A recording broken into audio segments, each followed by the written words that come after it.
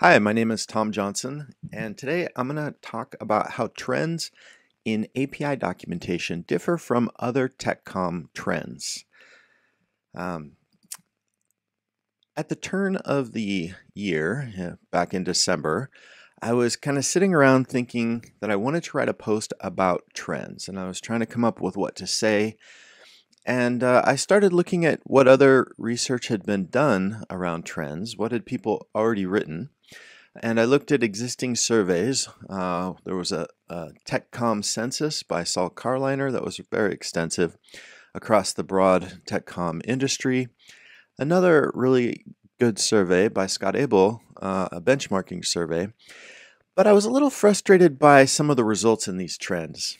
It looked like uh, the, the the picture that these trends painted didn't seem to square with the trends I was seeing in the developer doc space. For example, um, the trends indicated that 76% of people used Word or Google Docs, that 31% used help authoring tools or hats, that 30% used FrameMaker, that 20% were using a, component content management system, 14% using DITA, and I was like, you know, I just am not seeing this in other uh, tech pubs groups that are creating documentation for developers. And I wondered, you know, how do the trends differ? And has anybody ever surveyed just this segment of the population? So I decided to create a survey of my own, focusing only on developer documentation. That is, people who are writing documentation that is intended primarily for developers, engineers, or the, the sort. I had 50 questions in the survey. It took people about 9 to 10 minutes to complete. They were mostly multiple choice, although there were a couple of free form. And I promoted this survey on my blog, on Twitter, and LinkedIn. After a couple of months, 406 people completed the entire survey. Uh, actually, 855 started, 337 dropped out. So there's actually a range in the number of, of responses, but 406 made it to the end and hit submit. Uh, but the others were still counted as well. It took people nine minutes, and the distribution was pretty broad across uh, the world. It wasn't just the US, but included a good chunk of people from India, Germany, Great Britain, and so on. The results are public, and you can go to this site uh, or go to this link and you can see the results, and you're welcome to kind of dive into them. You know, trying to sort through survey results can be pretty challenging. You know, 400 plus responses, so many different factors. I'm not uh, an academic trained in kind of survey analysis, but I think when you have 400 responses, it's kind of hard to argue against some trends. So, Let's get into some of these trends. I divided the questions after the survey into five different categories tools, outputs, processes, API, and just kind of the general profile of the respondents. Let's jump into the first section, tools, because this is a section that I think most people are really curious about. I mean, tools in the developer doc space are hard to navigate. There are a ton of different tools. It's confusing to know which which to use, especially for your API docs, how you integrate them with your tutorial docs, and so on. So the first question is, what is your primary authoring tool for creating documentation? And I had different categories. And the trending category is static site generator tools such as Jekyll, Hugo, Gatsby, Sphinx.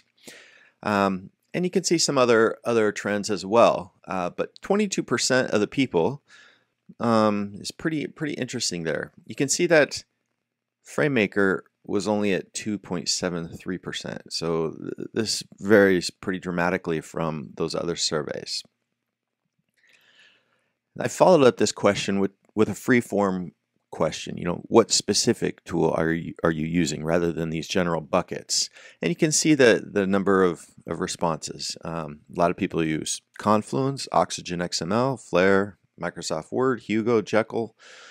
And I'll get into a little bit of the analysis of trying to sort through this answer uh, in a bit. Another question If you write content in a text editor, what editor do you mainly use? Most people use Visual Studio Code, or Atom or just Notepad++. What's the most common source format? Markdown by far uh, leads the pack with around 30, 37%, uh, followed by HTML and then XML. Um, in general, do you follow a docs as code approach where you treat documentation similar to how developers treat code? And overwhelmingly, around 56% of the people said yes, they do. And this is a huge difference, right? This is a this is a whole philosophy and methodology that's dramatically different from other TechCom spaces. What software do you use to create graphics and screenshots and visuals? Most people just use Snagit, but there are a lot of different tools people are using. Um, and you, you can see a long list here if you dig through the results. What platform do you use to host and publish documentation, especially to provide continuous integration and delivery? And most people just use their company's own web servers or infrastructure to publish their documentation. I mean, there are some people using GitHub, uh, GitLab, but by and, by and large, people are just using the same infrastructure as their company's engineers use. What kind of computer do you, do you use? Uh, Windows 55, 54%, Mac 40%. So pretty evenly split. I mean, uh, I kind of wondered if a lot more people were using Mac, but not so much. How do you manage your content? Most people manage their content using Git, 67%, right? So this is a really, this is a huge category, right? Uh, because Git is a, is a complex workflow, or it can be. It's super flexible. Uh, it's the same workflow engineers use. And uh, it's the, the primary way people are managing all their content. Different versions, collaboration, uh, kicking off builds, and everything. All right, so now I want to reflect a little bit on how we unpack some of this, uh, some of these responses about tools.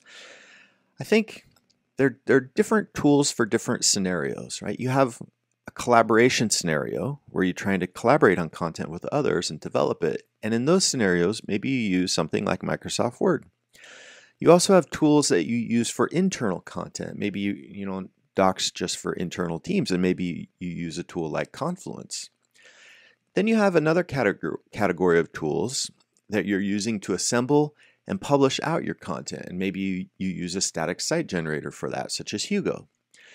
And then there's another category of tools that you're using to edit your content, where you write and edit, uh, and maybe that's Visual Studio Code. And then another tool that you're using to manage your content, you know, push it and collaborate it and store it and so forth, um, that's usually Git. And then another category of tool that you're using to publish and deploy your content, maybe your company's own build system. So there's not just one tool that people use, right? And this is kind of the biggest takeaway is uh, it used to be that kind of people people in TechCom, you could identify what tool they were using, and that tool was an all-in-one sort of publishing, uh, authoring, publishing solution, authoring, publishing, collaboration, all packed in one, kind of like a Swiss Army knife. But now there's not just a single tool for authoring, review, and publishing. You have a lot of different tools that are used for different purposes. And if you want to see some examples, check out this Jamstack site with some links. It shows all the different tools people use. Uh, and I also realized that the term tool itself is pretty ambiguous. You know, is the tool the editor? Is it the, the markdown? Is it the static site generator? Is it the build and deployment system? Is it the internal review tools? I mean, if you have six different tools you're using in your authoring and publishing solution, it's unclear uh, what response you should provide when you say, when people ask, what tool do you use?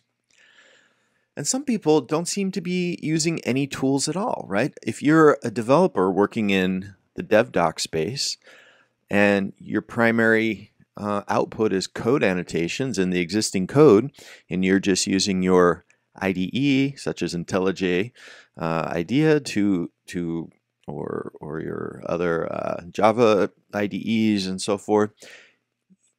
It's not really apparent uh, what response these people should say when you ask them what tool they're using. It's like, no, I'm just writing Markdown in, as code annotations in my existing editor.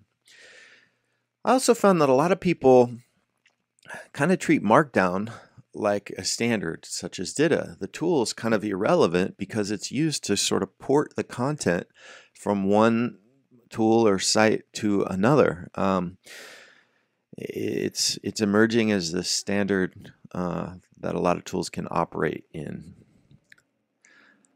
I also think that that one could make a case that the tools influence content. If you look at the history of authoring tools in the tech com space, when people converted to the web, they started creating more more articles. Uh, before that, when they were writing big long PDFs, it was more of a book format. When people um, embraced wikis, they sort of uh, had more feedback loops in the content.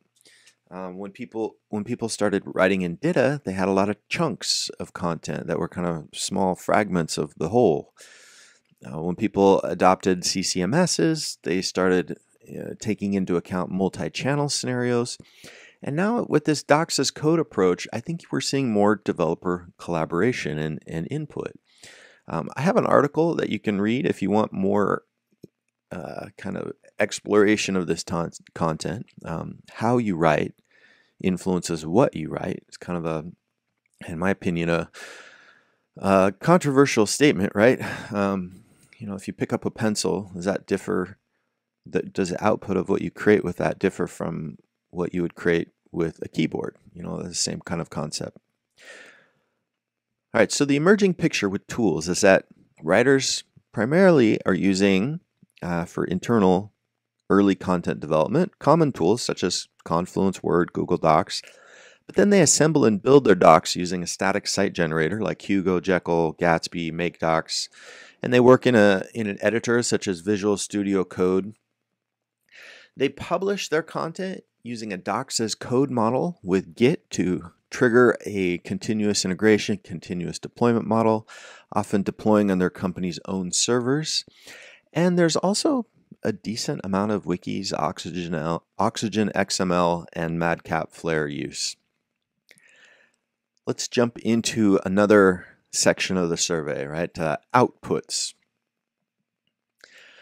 I asked, what's the primary output format for your docs? And most people are publishing HTML on the web, but surprisingly, 23% are producing PDF. And this um, ties back to my initial uh, reasons for doing the survey. I wanted to know are people really generating PDF? You know, is that just a, a relic of the old tech TechCom space? No, people are actually creating PDFs. Do you create video tutorials or screencasts? Uh, surprisingly, 28% said yes and only 57% said no. Others are planning to create them soon. So there's a lot of people creating video. You know, I, I think there's a common misconception that developers hate video. I've had people uh, stand up and be very adamant that we should never be creating video because developers don't want that. But it's not the case. Now, if you're not creating video and screencasts, why not? Well, some people just don't have the bandwidth or the tech just changes so constantly that video goes out of date soon, or simply because nobody's asked for it. Another question Do your docs plug into a larger development portal? This developer portal you know, organizes docs for a lot of different products, maybe has a unified search, navigation, other features that bring all the docs under one roof. And yeah, 56% of the people are pushing their docs into a developer portal. Do you localize your documentation? 73% do not, which is kind of astounding, right? If you don't have to include localization into your workflow, uh, it frees up your tool set considerably. You don't have to really think more about XML tools because uh, localization isn't a requirement. Another question about PDFs. Do you usually generate out PDFs and distribute them to your audience? So I added another qualifier.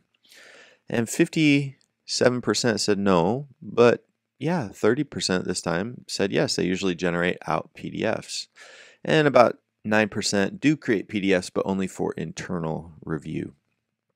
You know, the PDFs thing is interesting because uh, a lot of these tool sets, the static site generators, don't don't generate out PDF by default. Uh, Sphinx is an exception.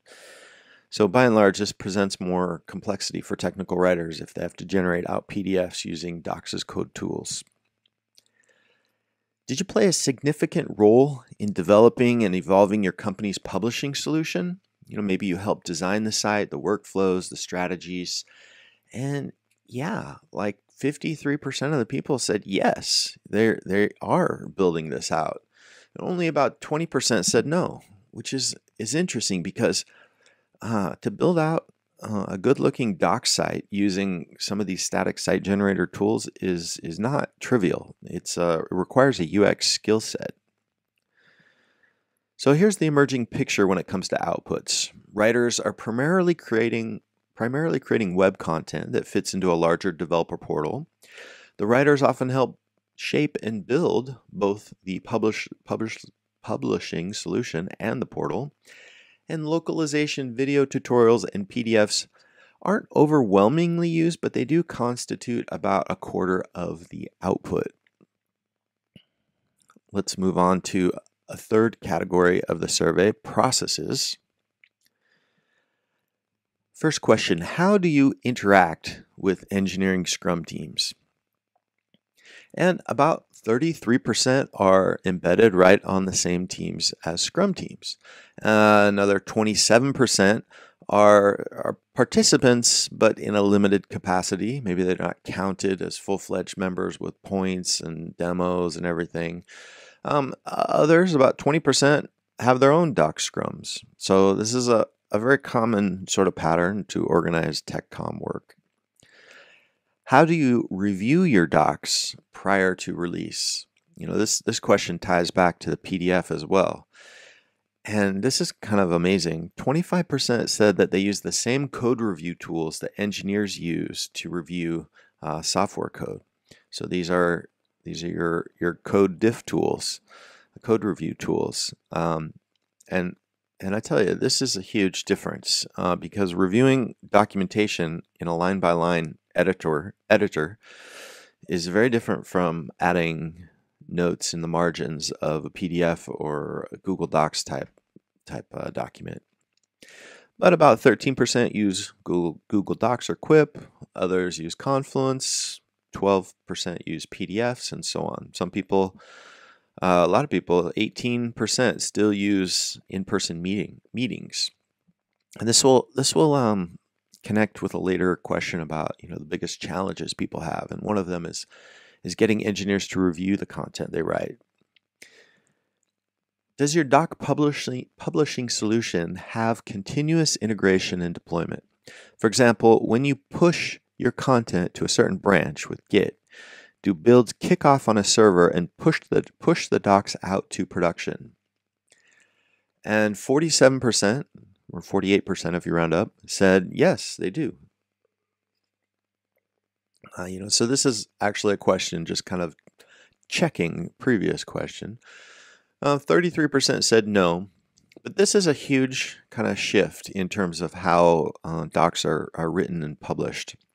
The ability to just kick off a couple of commands with Git and all of a sudden your files are in transit being deployed on the server a few minutes later is huge. It is huge. If you've ever had to manually kind of transfer and publish files, you know what a pain that is. Do you outsource any documentation to an offshore agency? Uh, no, 93% do not, right? And this probably speaks um, to the intellectual property concerns, uh, especially if you're working with APIs and other kind of developer code. Uh, you probably want to keep that internal to the company. Do you have a style guide for your team that standardizes terminology and conventions about style, grammar, and syntax? 77% of the people said yes, we do. You know, and and this could be a style guide that you're just adopting from another group. Maybe you like the Microsoft Manual of Style or Google's Developer Style Guide. Uh, but yeah, people aren't just kind of uh, going about it freely and choosing whatever styles they want. When you collaborate with engineers, how do the engineers contribute? Well, about 31% actually uh, say that engineers contribute content through pull requests. Um, others, about the same number, 31%, say that engineers add content to a wiki or similar platform such as Quip and they grab it there. And about 20, 22% say that engineers uh, are direct authors in the version control repository. So an engineer pushes their code in Git just like uh, the other technical writers might be doing. It's kind of an interesting, interesting model. I mean, if you look at why people adopt Docs as code, it's really to unlock collaboration with engineers. And you can see that that 22% of engineers at least are plugged in directly and another 30 31% are committing pull requests. So yeah, I mean if you're in this space and you're trying to get information from engineers, this tool set often allows people to collaborate. Here's the emerging picture, right? Writers participate on Scrum teams, sometimes in a limited capacity. They review docs using the same tools engineers use to review code. Engineers contribute through through pull requests or through through wikis. The publishing publishing process is streamlined through continuous integration and deployment. And most content is generated within the company rather than outsourced. All right, let's move on to the fourth category in the survey APIs. Does the documentation you work on usually involve some kind of API? And 81% of the people said yes.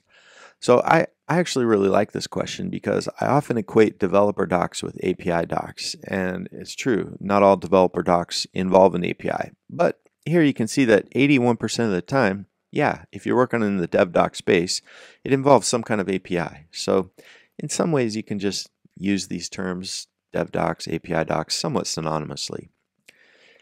What's the most common type of API you work with? REST APIs, 56%. But native library APIs such as Java, C++, these still constitute uh, a sizable amount with 17%. And then a different number of uh, different types of APIs uh, trickle down, like SOAP APIs, only around 7%. Uh, GraphQL at around 7% as well. So it's interesting. Like the API landscape is really pretty broad. So how do you know what to focus on? Well, probably REST and then some native native library APIs.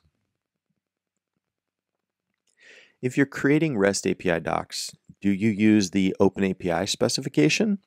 And 40, 47% uh, of the people said yes. Um, 16% said no. 6, 15% said sometimes. And other people just aren't working with REST APIs. So this is a pretty strong trend, right? Like if you are going to be working with APIs, you should really know the Open API spec because that's how a lot of people just document the, the API.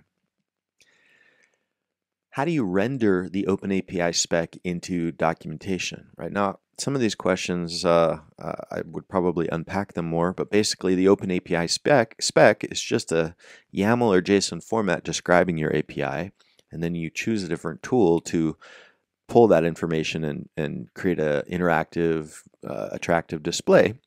And the most common one used is Swagger UI. Um, Swagger usually refers to the tools around OpenAPI, and there's a free one that's been the standard for a long time, but Redoc is also heavily used with around 8.5%.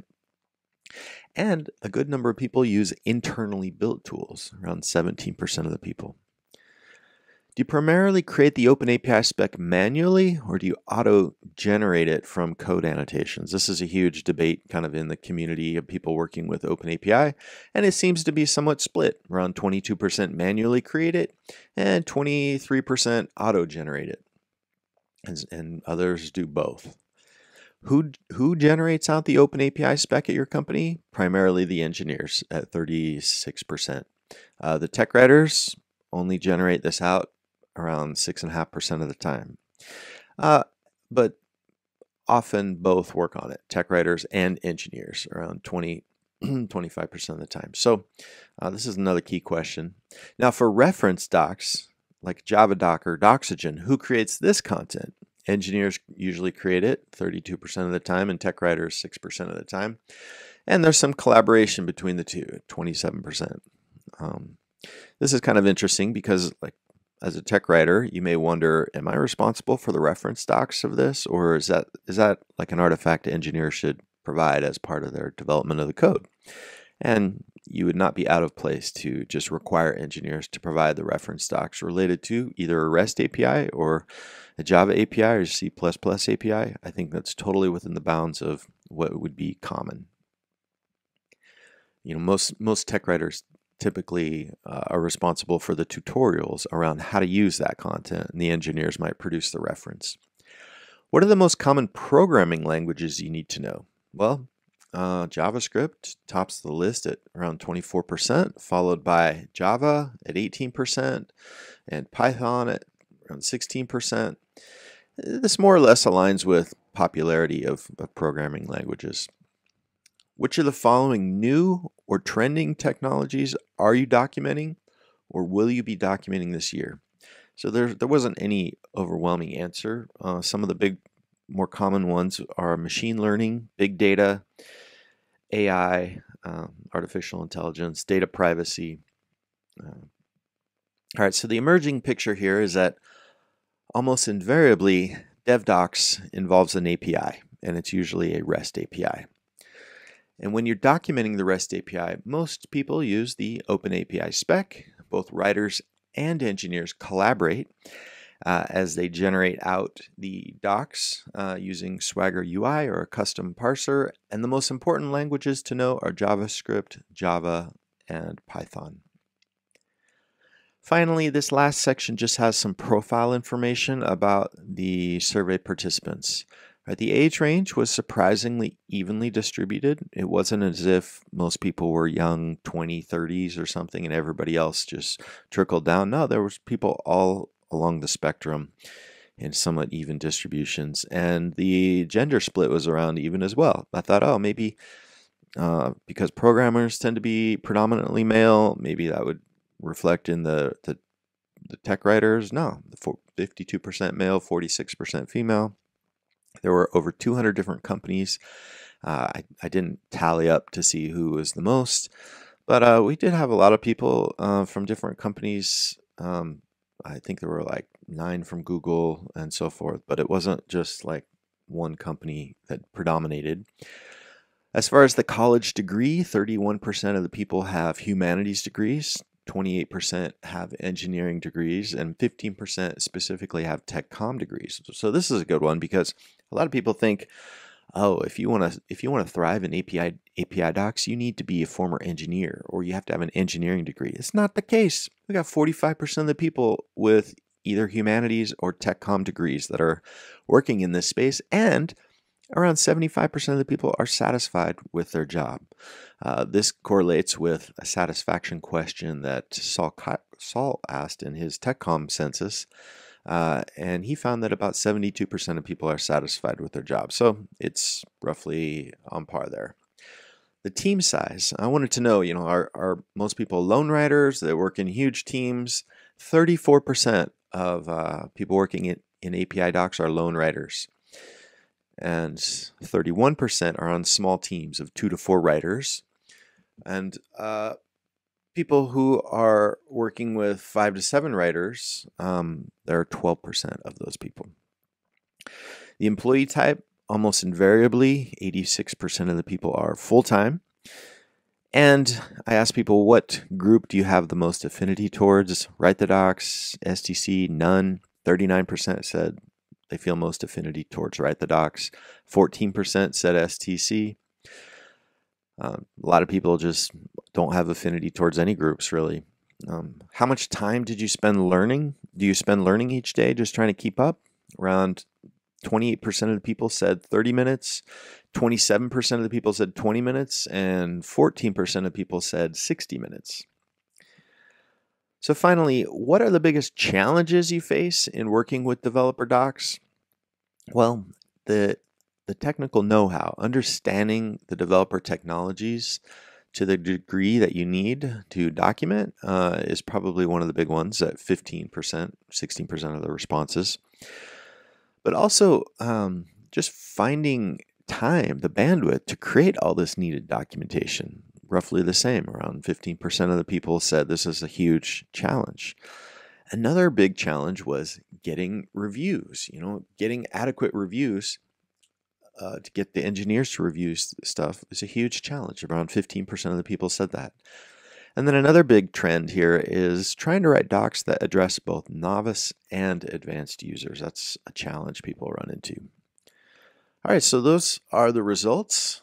And hopefully, you know, as you're making your way in this dev doc space, uh, these results give you some validation for maybe the path you're taking, or maybe uh, you realize that you know what we're doing doesn't seem to align with the trends. But I think understanding trends is helpful because you want to kind of choose your, your tool set and your processes and your formats to be generally in line with what's most common in that space. Uh, the the skill sets people will ask for in job interviews will better match up. The expectations of the audience and the engineering teams and working with you will better match up. If you're kind of uh, rogue and doing something completely different, you know, kudos for innovation if, if you're innovating, but also recognize that uh, uh, you might run into more um, challenges trying to uh, cut your own path through through a jungle. So hopefully you can find some of these more well-worn paths and and uh, find more community, more tools available, more general information about those paths. My name is Tom Johnson. You can find more about uh, me and, and my blog and API docs on I'd rather be writing.com. And I've also got an extensive API documentation course you can go through for free on the same site. And feel free to reach out to me on Twitter at Tom Johnson or through my email address, tomjoht at gmail.com. Thanks.